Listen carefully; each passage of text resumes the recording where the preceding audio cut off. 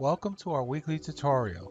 In this guide, we will show you how to detect who disabled a user account in Active Directory. First, we need to configure audit settings. Run gpedit.msc, then create a new policy and edit it. Go to Computer Configuration, Policies, Windows Settings, Security Settings, Local Policies, Audit Policy.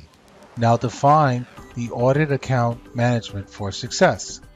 Now go to the event log and define the maximum security log size to 4 gigabytes and set the retention method for the security log to overwrite as needed.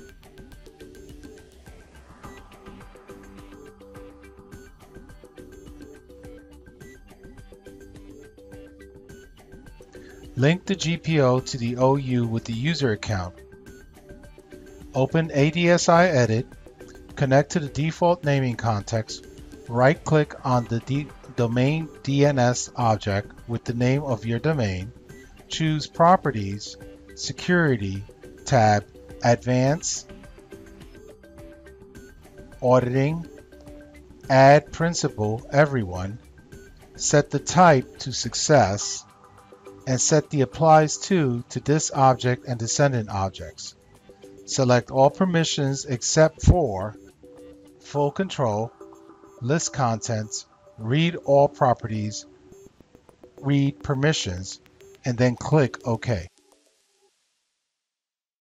Now force the group policy update by running gpupdate slash force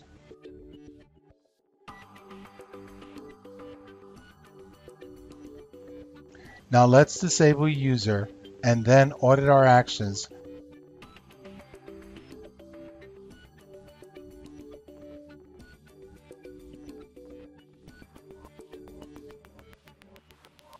For example, let's disable John Brown.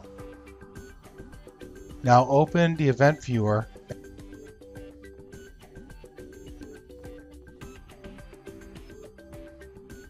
and search the security log for the event IDs 4725.